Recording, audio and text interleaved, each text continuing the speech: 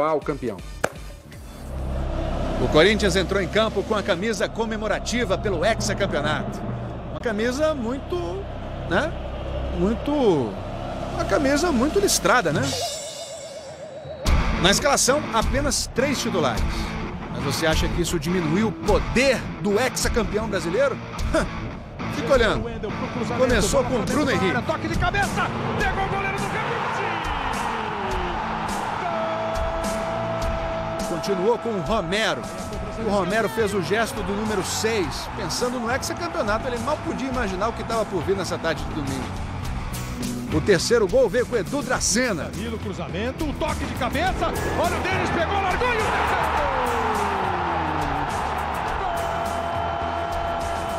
gol. Gol obrigou o técnico Tite a fazer uma dancinha, torcendo para a bola entrar. Quando o Timão deu a saída de bola no segundo tempo, a torcida já começou a gritar olé. E o Corinthians continuou o show com uma jogada para mostrar o que é uma grande equipe. Troca de passes espertíssima. Até a assistência de letra do Danilo pro gol do Luca. O Corinthians abriu 5 a 0 com o Romero, segundo gol dele.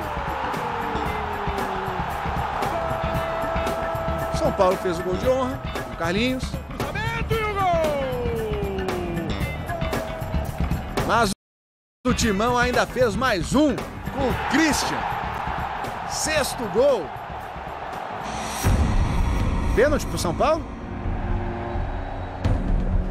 Não tem problema, porque o Allan Kardec bateu, mas o Cássio, como um gato, pegou.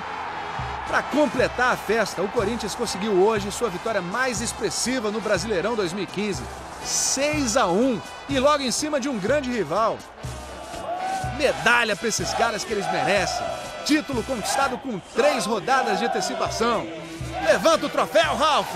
Faz a festa, pessoal. É o Corinthians, ex-campeão brasileiro.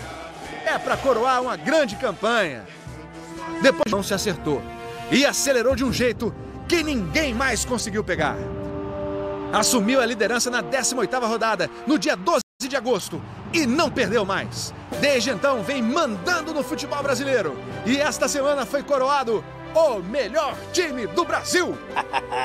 é o que eu digo, meus súditos. Eu tô de boa. tá bonito, hein? Tirando onda, hein? É. Ele, parabéns, parabéns, viu? Muito obrigado. É, e você sabe por que, que o Corinthians, mesmo com o time cheio de reserva, acabou com São Paulo? Ah, porque tem um grande elenco, né? Porque é o melhor time do Brasil. Não, nada disso. É porque o Corinthians é o time que tem muito apetite. Entendi. Não? Por que apetite? Apetite. Tite, entendeu? Ah, Tite. Apetite. Tite. Ah, meu Deus, essa foi péssima. Tudo bem, campeão pode falar o que quiser, né? É, a Ai, gente ai, ai. só não fez um 7x1, que é pra não imitar a Alemanha. Sabe como é que é, Ah, né? tá, ainda teve isso. Não, não fez 7x1 pra não imitar a Alemanha. Pega mal. Tá bom. Campeão pode fazer a piada que quiser.